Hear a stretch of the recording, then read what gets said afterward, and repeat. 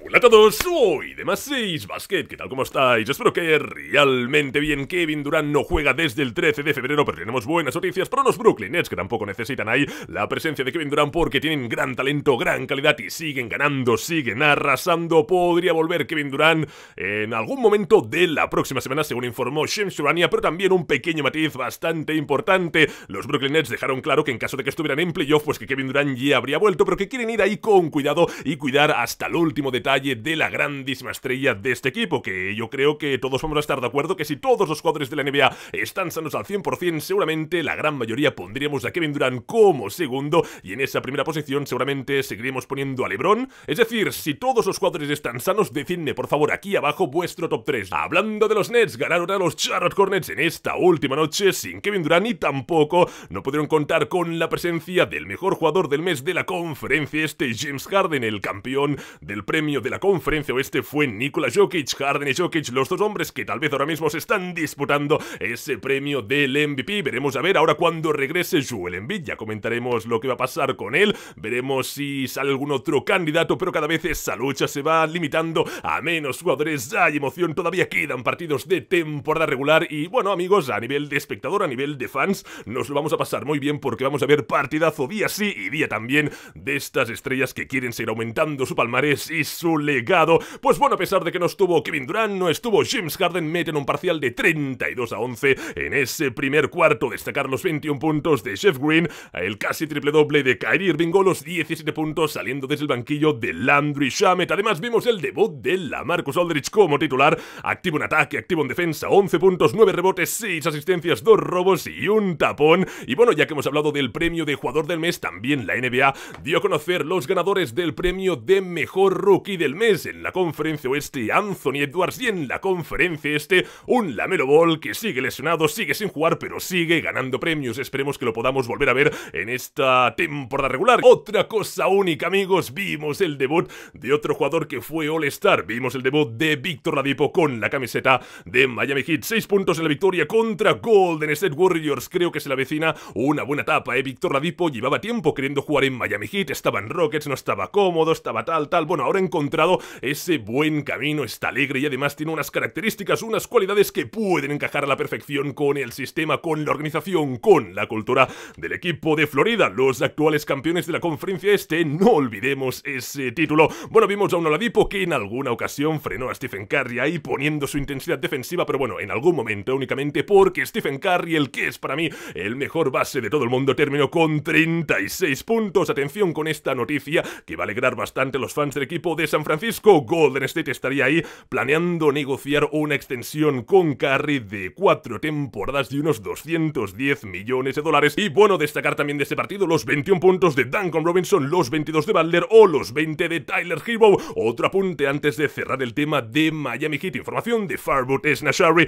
Miami Heat cree que tiene opciones que puede conseguir este verano, que puede fichar al amigo Kyle Lowry para añadir ahí más dinamita, más talento, más carácter, más liderazgo, más experiencia a un equipo que quiere volver a levantar el anillo de campeón y conseguir el que sería su título número 4. Ganaron en el 2006 con Wade, luego los dos del Big 3 y ahora que quieren ganar ese cuarto campeonato para seguir aumentando la alegría de los fans del equipo de Florida. Va, seguimos con actualizaciones de lesiones. Ya sabéis que Andre Drummond debutó y debutó pues mal, debutó con una lesión y tuvo que abandonar el partido después de jugar únicamente 14 minutos, pero tenemos una buena noticia. Hay optimismo en relación a esa lesión. Drummond, según Dave McMahon, se podría perder como mucho entre uno o dos partidos, por lo que los fans Lakers seguramente deben respirar ahí tranquilamente, teniendo en cuenta que Marquise Morris también sufrió una lesión similar y estuvo ahí con molestias durante un mes, mes y medio. Otra cosita, ¿qué pasa con otro jugador interior que está lesionado? John Collins, el interior de los Atlanta Hawks, un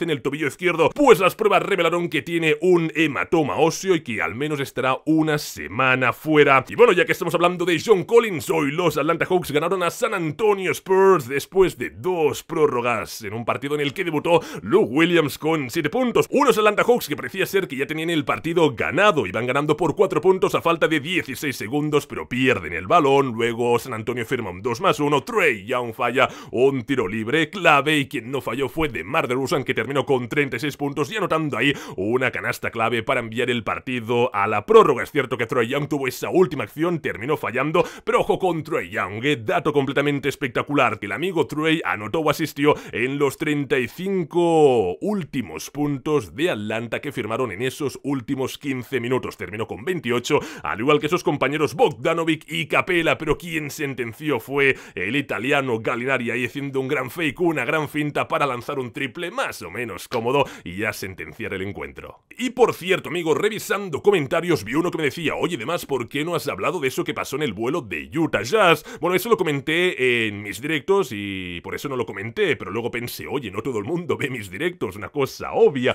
por lo que sí que vamos a mencionarlo porque es una cosa bastante importante. Ya sabéis que, y si no lo sabéis, os lo comento ahora, Utah Jazz después de jugar un partido hace dos, tres días, cogieron el avión, una cosa completamente normal, y fue un vuelo que nunca van a olvidar, ¿eh? una situación ahí angustiosa, una situación que te pone un mal cuerpo. Chocaron ahí contra una bandada de pájaros, creo que era, eh, perjudicaron un poco el motor, hay fotos que se ve que hay partes del avión que están completamente rotas, y bueno, Bill, como lo contó Jordan Clarkson, y la verdad es que se te ponía mal cuerpo, decías, madre mía, por favor, espero que, no sé, que nadie vuelva a vivir esa situación, al final todo salió bien, no tuvimos que lamentar nada, eh, ya está, pero el susto sí que se lo quedan, y luego, en el último partido que no jugó Donovan Mitchell, no jugó por razones personales, y hay esa especulación de que Donovan Mitchell no jugó porque todavía estaba ahí un poco traumatizado por esa experiencia, y luego puedes pensar, bueno, pero los otros jugadores sí que jugaron, pero salió un vídeo de Donovan Mitchell de hace años que decía que reconocía que él siempre había tenido miedo a volar, pues oye, si tienes miedo a volar y te pasa eso, pues quieras que no, debes tranquilizarte un poco, y si no juegas un día, pues no pasa absolutamente nada, pero vamos a quedarnos con la parte positiva, que al final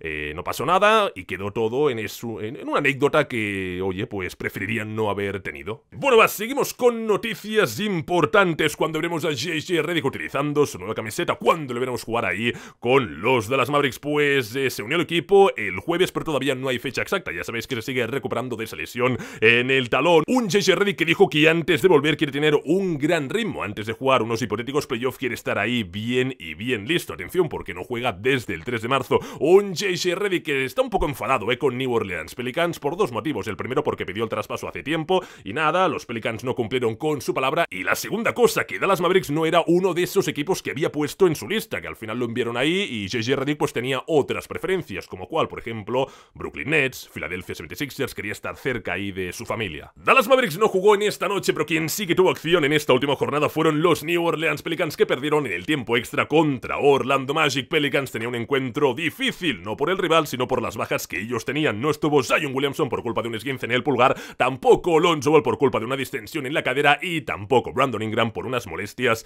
en el pie. Quien sí que estuvo fue el nuevo pivot de Orlando Magic que tiene la difícil tarea de hacer olvidar a los fans de Orlando la figura, la presencia de Nikola Vucevic, el actual jugador de Chicago Bulls. 21 puntos, 12 rebotes para él y destacar a Terrence Ross que anotó una canasta ahí en el tiempo extra para ya dejar sentenciado prácticamente el partido. Y oye, que no se me olvide también destacar a nivel negativo unas acciones finales de Nikhil, el jugador de Pelicans que terminó con 31 puntos. Sí, también tuvo buenas acciones ahí en la finalización del último cuarto para mantenerse con vida, pero falló un tiro libre decisivo. Ojo al momento post partido que vivimos entre Dwayne Wade y Aaron Gordon. Si os digo estos dos nombres, pues ya sabéis que una conversación tranquila pues no va a ser. Ya sabéis ese beef, esa problemática que nació en ese concurso de mates, que Aaron Gordon hizo un gran mate y Dwayne Wade únicamente le puso 9. Fue en el mate que saltó por encima de Taco Fall y Wade pues dijo un 9. Muy bien amigo, pero únicamente te voy a dar un 9. Bueno, Denver Nuggets ganó a Los Ángeles Clippers y en esa conversación Wade le preguntó, oye, se te ve muy feliz, ¿eh? Aquí en este nuevo equipo, en la franquicia de Colorado, pero ¿por qué utilizas el dorsal 50? Y Aaron Gordon dijo, amigo, soy el que más 50 ha sacado en los concursos de mates. Y nada, pues hubo ese momento de tensión, ese momento de risas, llámalo como tú quieras. Y nada, que Aaron Gordon sí que se le ve feliz y además está aportando ese plus defensivo que le está viniendo muy bien a los Denver Nuggets. Tres robos y dos tapones. Amigos, recordad que mañana sábado vuelve Joel Embiid. Va a volver ahí con toda la fuerza posible para hacer de Sixers otra vez el equipo líder de la conferencia este y para hacerse a él mismo el candidato número uno para levantar el premio de MVP de la NBA. Hoy Philadelphia sin Joel Embiid todavía ganaron a Cleveland Cavaliers con 27 puntos de Shake Milton. Gran partido de él que estuvo muy bien acompañado por su compañero también de banquillo, Dwight Howard. 18 puntos y 15 rebotes. A pesar de la derrota, Cleveland Cavaliers está contento por dos motivos. El primero volvió Kevin Love con 13 puntos y el segundo debutó Matthew de que ya sabéis que estuvo ahí al borde de la retirada por culpa de esos problemas que le venían, esos problemas derivados de esa dura conmoción cerebral que sufrió, pero bueno, lo hemos visto de vuelta, no notó ni un solo punto, pero bueno, pasito a pasito. Y el último partido, amigos, Detroit Pistons ganó por 29 puntos a los Washington Wizards a pesar del triple doble de Russell Westbrook. Washington sigue sin Bradley Bill por esos problemas en la cadera y quien no tuvo problemas en anotar fue Joe Jackson, la lección número 4 del draft del 2017, 31 puntos para él, pero sí que tuvo problemas a nivel físico porque nos dio un sustillo en el tobillo que dices, madre mía, por favor, Joe Jackson, no te me lesiones. Bueno, cracks, hasta aquí el vídeo de hoy del vídeo que ayuda a ir sacando más. Un abrazo para todos y también un solo para Diego, Ortega, Poconli, Lepín, Aymar Aparicio, para Sebas y Matías, para Israel, David y Carla, para Izan, que el día 13 es su cumpleaños. Muchas felicidades, crack. Bueno, un poco adelantado, pero bueno, así es de más 6 Basket. Y luego para Giovanni y Carlos. Un saludo y nos vemos muy pronto.